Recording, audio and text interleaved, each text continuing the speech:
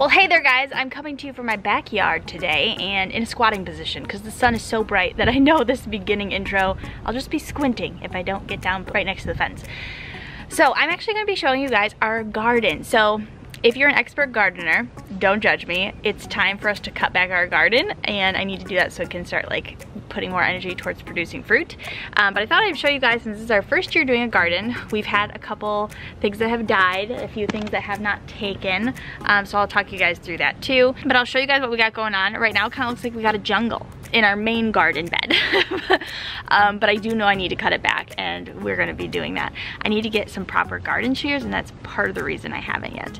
Um, but if you have tips for cutting back um, on the specific plants I have, let me know what they are because I will take all the help I can get. This is my first year. We really don't know what we're doing yet. Clearly you will see that. But I thought it'd still be fun to introduce you and so kind of like I have this look back on once we were gardening for maybe many years and just to see kind of where we started and probably laugh at myself, but we'll see. So I'm gonna walk you guys through. We have our main garden bed and then we have five crates, which we'll show you in a minute. This is my Great Dane that you guys see in the back of a lot of my videos. So he's gonna say hi, of course. Um, if you see dog poop, that's their dog area over there. So again, apologies. So this is our main garden area. There are no weeds in here. This is all garden. So over here is all watermelon. Like all of this except right in here, which is a carrot, and back here, which is a carrot. Now the reason that this has taken over so much is we planted our watermelon right there, so he's kind of spread out this way.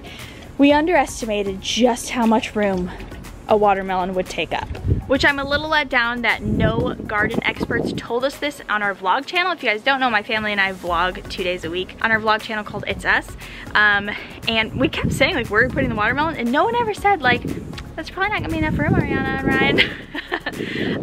um, well, we now know watermelon needs a lot more space. So what's funny though is like it's all stemming from right here where it's rooted so it's just vines over this. Otherwise um, the carrots are doing okay under here. I just kind of have to make sure that their leaves are getting sunlight basically. So yeah, we did have cucumbers that were planted here and those did not come through at all. They didn't take and even a little bit. We started them in like a little grow pot, like in little seedling grow pot things. They didn't take like everything else did for some reason, um, but that's okay. And then this is where our strawberries were.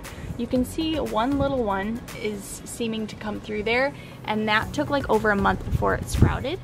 Uh, so we had three in there and only one has come through, but it's, it's starting.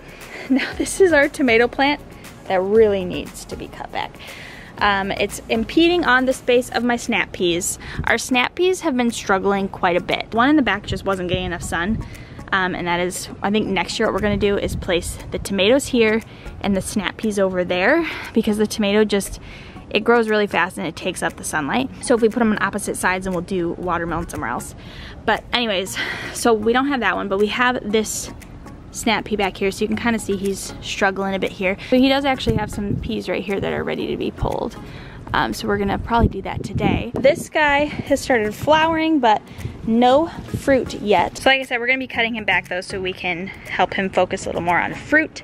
Uh, oh, there's another snap pea right here too. These ones are like super thick. We literally planted one watermelon. Like, you know, you look at the pack, it says plant this many seeds in a pot. We did one. This is what we got.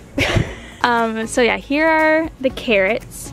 Um, so there's two that are coming up here. We still have a good amount of learning to do when it comes to like female and male ends because you need both to produce like better fruit, I guess.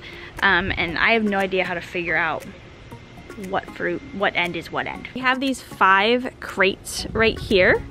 Um, and so we have asparagus right here in the middle. These guys are doing great. Now you're not supposed to harvest these for at least a year, preferably a couple years. Um, just so these are just growing. We're just letting them be right now. Um, but they did really well. And then this guy is a blackberry. I think he's getting, I think this means too much sun. Um, which is kind of funny because I'm pretty sure they're supposed to be in full sun. We've had these two that started to sprout up and then they died.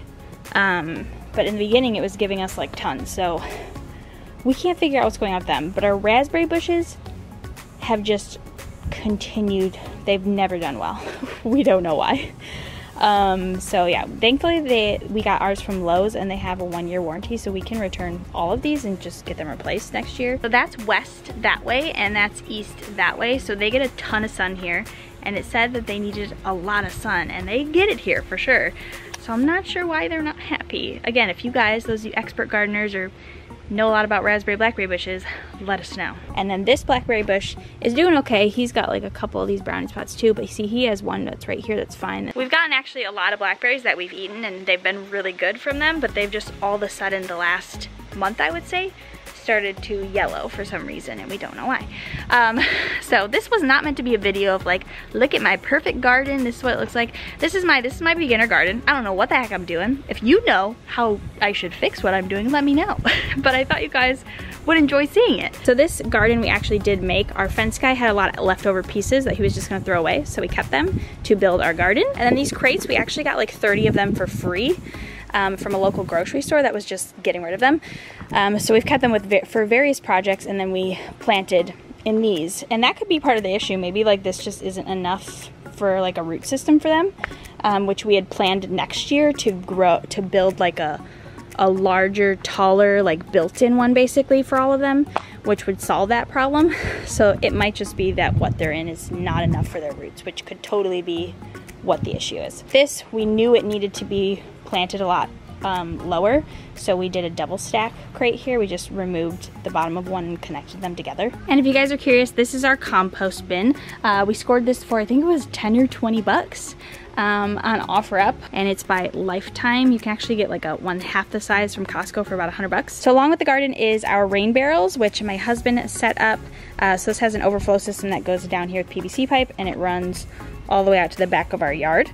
Um, so this we can use to water our garden with or whatever it may be. Um, so in certain states there are like heavy regulations or I think there might be one state that it's illegal or something like that to collect rainwater. But just check your state's regulations before you do that. So we have one hooked up here to a downspout and then we have another rain barrel over here that also has an overflow that runs all the way along the bottom of the fence there. It's that hose so it runs there. How you doing, gray boy? That's gonna be it for this video. I hope you guys enjoyed it. Um, I am going to, once we get the entire yard finished and put in uh, the, I would say grass, but we're actually gonna do something different, which so you'll have to wait for that video. Um, I'm gonna do like a minimalist backyard tour or whatever. Um, homestead, minimalist homesteaders backyard tour. I guess that would kind of be what it is. Um, but I hope you guys enjoyed this video. Uh, look forward to that and I will see your wonderful faces on Thursday. Bye.